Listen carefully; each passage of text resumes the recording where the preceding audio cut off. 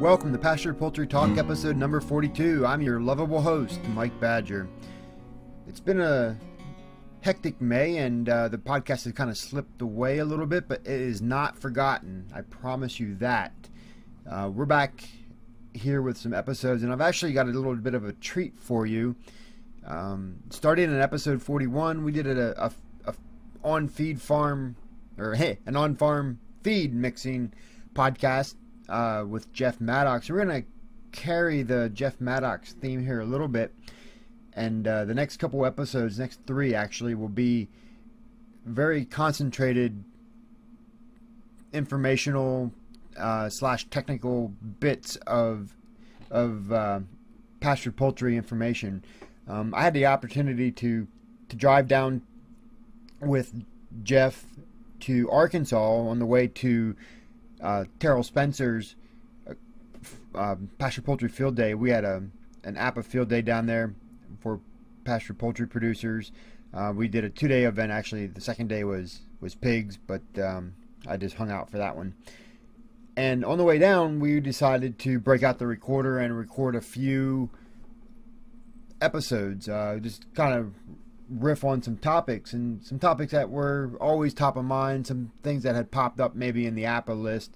And that's where we're going to pick up today. Now, before we jump into the call, I just want to warn you that the the audio quality is good, the level is good, you can understand what Jeff is saying. However, it's kind of like riding in the in the truck with Jeff. You hear the the road noise um, as you're rolling down the highway normally when I have a little bit of noise, I can pull it out, but the road noise and Jeff's voice are kind of at the same level, and I can't really get the road noise out at any appreciable level and have Jeff sound normal. So you're just going to have to deal with it. I think it's okay. It's uh, part of the flavor, if you will. And our first episode here is going to be on pecking. I think it's really an authoritative guide to pecking um, people often have the mistaken for well, it's not mistaken, but they also they often have the the initial reaction that pecking is always feed related, but that's just not the case. Feed is one issue of of many, and Jeff walks through this, and you can if if you listen to this from the top, you'll kind of get the idea of a flow chart here. You know, you need to to think about where the bird is pecking and and making some environmental observations. So without further ado, let's go ahead and jump into the call. You, on this call, you're going to hear probably a few voices. Um, we're also traveling with Casey Rogers, who's a livestock specialist with Fertrell. She'll chime in. Um, there are some interns in the truck named Chet and Walker. You don't necessarily hear them, I don't think, on the on the call, but uh, they are referenced a time or two by name. And since this first one was primarily a a response to an, a really ongoing long conversation in the APA uh, listserv, you know, basically Jeff just runs with the the diagramming and the flow charting of the of the troubleshooting process, and uh, there's very little need for for anyone else really to ask questions. Um, so you'll hear a few questions at the end, but in general, we just let Jeff talk. Enjoy. All right, so at the top, you want to start with that header of poultry slash cannibalism. Okay. All right, and then coming off of that, you want to draw lines to those four categories of areas being pecked. So start from the head, go to the tail. So you're going to have the head pecking, then you're going to have the saddleback pecking, the tail head pecking, and the vent pecking. Okay. So, a lot of times, back of the head pecking uh, can be contributed to. So, there's multiple factors here, but in most cases, it's a light intensity or an environmental discomfort, whether it's too hot, uh, too bright a sunlight, and rarely, but sometimes crowding. And the last reason would be methionine if they're eating the feathers. Okay. So then the saddleback, the saddle feathers, are usually where they peck for a methionine deficiency because those feathers are the easiest to eat. They tend to be softer and easier to digest. So nine times out of ten, that's going to be the eating feathers. Uh, but a lot of times those feathers are actually missing. Not those feathers become missing due to roosters, and then scratches develop, and then the scratches get pecked by the other hen. So the, the initial cause for missing feathers on the backs is a lot of times rooster damage that then becomes something else. Tail head pecking, the large feathers in the tail head, 99% of the time are due to overcrowding or competition for a desired space.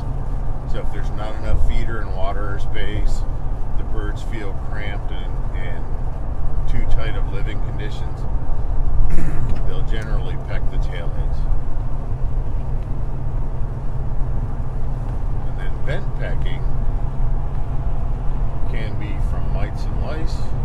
It can be from peckouts, where they're getting pecked when one egg's getting laid by the other hen, and or they actually sometimes can do it from self grooming, you know, where they're trying to groom out the mites and the lice, and they cause a scratch or a red mark back there that then becomes a cannibal spot. So now we go back and recap how to fix each one of these. But the first line of defense, after identifying what is causing the cannibalization, is to put one tablespoon of salt per five gallons of drinking water for three days to stop the pecking. During that three days, we have to correct whatever the issue is, or they'll go back to pecking again. And if they allow pecking to continue for too long, it actually becomes a, a mental habit known as hysteria, where they just, it's a habit. it's a habit that they'll just continue to peck each other. So if we don't get it under control, usually within the first two weeks of the problem, it then becomes just a habitual issue. Then the salt may or may not work. Then you may have to remove light for up to 24 hours to make the stop pecking stop. If that doesn't work, you have to remove and replace the flock or shoot the ones that are pecking. So back of the head is like I said, it's usually too much light transmission. People fail to remember that these are jungle fowl that are used to living under the tree canopy in muted light.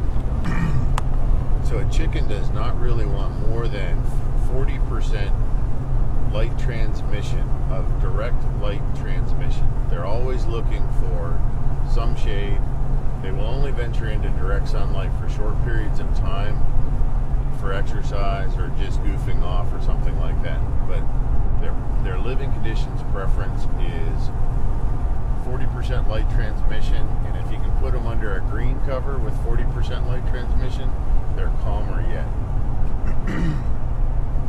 Using clear glass or uh, clear corrugated fiberglass panels or even clear plastic is absolutely a mistake because it the light can a transmit, but it refracts and changes the angle of the light, which actually st- overstimulates the chicken's photoreceptors and encourages more pecking.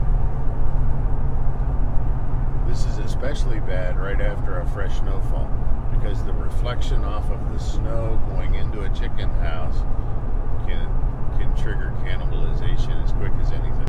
So at the saddleback, primarily being a protein, either an incorrect protein, not just a methionine.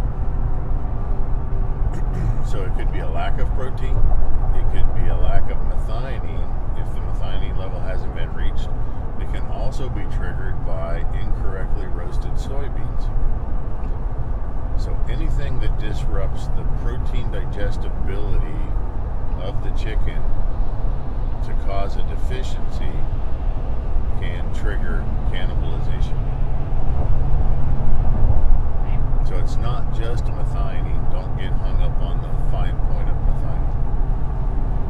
So methionine, the only reason you'd see that is if they were eating the feathers, but the protein or the incorrectly roasted soybeans, they will not eat them. They will. They will They still, will. no matter because what. what's happening is even though we may have on paper the right amount of methionine, if the soybean is not properly roasted, they can only utilize 15% of that protein. So the methionine in the soybean doesn't count anymore. Okay.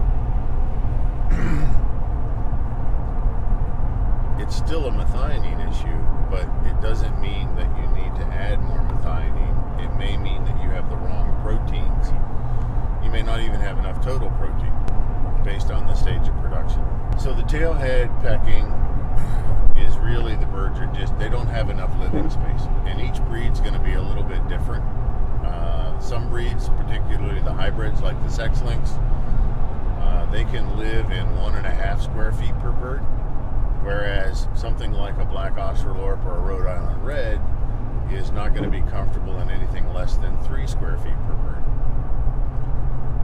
But it's almost always going to be a crowding issue or a competition for an area issue. And then the vent packing, if it's not mites or lice, the birds need to be inspected, picked up and inspected to see if the vent has been prolapsed and that's the area being pecked, or is it away from the vent? And if it's away from the vent, it's more than likely a parasite, external parasite issue, which can easily be corrected by dust bathing with ashes or peat moss or something along those lines. So if it's not external, then if they're actually prolapsed or if they're peckouts, then we need to get they need to a walk the flock to pick up birds that are trying to lay eggs on the floor, and b they need to get curtains on the nest boxes so that the nest boxes are a nice dark, very very dark area for the hen to lay her egg. And they also need to make sure that the, the nest boxes did not have direct sunlight or direct light of any type going into those nest boxes. The nest boxes need to be in the darkest location between sunrise and noon in the morning in that in that hen house, which is generally going to be the south wall and the east wall. Somewhere in the southeast corner should be where a hen is trying to lay her egg. Now, head pecking can also be too hot. If they're in a confined space and the temperature's too high, that can also cause irritability. Can poor air quality irritate them enough to want to peck? Yeah, almost any environmental irritation can cause it. You know, a, a long, lengthy period of rain where they can't go outside and function, uh, high ammonia levels, poor air quality can also trigger it. But that typically is uh, either head pecking. Rare occasions can be tail head pecking.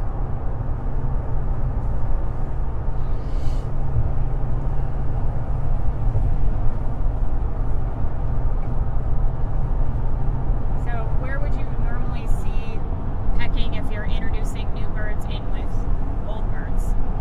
peck them in the head, and you don't introduce new birds with old birds. But everybody wants to blame feed for pecking, and there's only one feed issue that can cause pecking. I'm sorry, two. Poor protein quality, lacking methionine, or not enough feed. So, for the idiots who tend to want to limit feed too tightly and not give their birds enough feed, that will also induce pecking. Did we miss anything? Chet, Walker, questions? Do you ever put like Vaseline on pecks to stop it? Or Absolutely. Uh, regular old petrolatum jelly will work perfectly fine on a wound. Uh, if you want, you can mix a little bit of cayenne pepper with that. Just dab it on the wound. Usually only takes one or two applications. Then the other hens that were pecking all of a sudden don't like the taste of petrolatum on their beaks, and they spend the rest of their day wiping their beaks off and trying to get that nasty taste out of their mouth. So pecking is not on the priority list and no longer. If the bird's actually pecked out because of trying to lay an egg and you know, and it's best to actually separate her for a few days and let it heal. Somewhere between five and seven days, she should be ready to go back into population. Can actually do that with any pecked bird. Create a hospital pen or a protected area and treat the wound. And uh, once the redness is gone, they can go back in. Just reintroduce them in the middle of the night when all the hens are sleeping. Alright, and if it is mites and lice, I know we do a dust bath for the birds, but what do you recommend to get rid of them in the So building the, nest boxes and the roosting area, so the bedding needs to be removed and replaced. The chicken house or the whatever structure they're sleeping in should be at least dusted down with compressed air. Should also be sterilized with something of an oil-based type of disinfectant. And that should be the nest boxes, the roost, the house, and then new bedding put in. Uh, in the middle winter, when they're being extremely aggressive for some reason, by free choicing good high quality alfalfa hay that's really leafy, we'll often take the target off of the other chickens and give them something to peck at besides each other. So you're basically providing them a distraction. Exactly. Something that they like to peck at and besides each other. Right. So that's something that could be could happen all year long if you were able to provide something in there to break up a little bit of the monotony while you figure out what the real cause is. Yep, absolutely. Hey, thanks for listening. That's going to do it for this episode of Pasture Poultry Talk. I want to thank you for joining us on our drive to Arkansas. Hope you found some value out of that. Hope that you take those items to heart. And the next time you have feather picking or cannibalism, you'll be able to diagnose this problem without ever asking a question. Not that asking questions are bad, but you will become the expert if you can listen to what Jeff has just told us. It addresses, I think, probably just about all of the scenarios that we may encounter. Just wanted to remind you that this podcast is made possible by the generous support of our sponsors. And the sponsor for this episode is Badger's Millside Farm. And that's me, folks. That's my farm. That's my business. And uh, I carry a full line of poultry processing equipment for small scale flocks. Um, folks like you, folks like me. We we are a dealer for the Poultryman and the Featherman lines. Uh, we can mix and match, get you the best thing you need for your particular processing setup. So check us out at millsidefarm.com. M I L L S I D E F A R M.com. Thanks.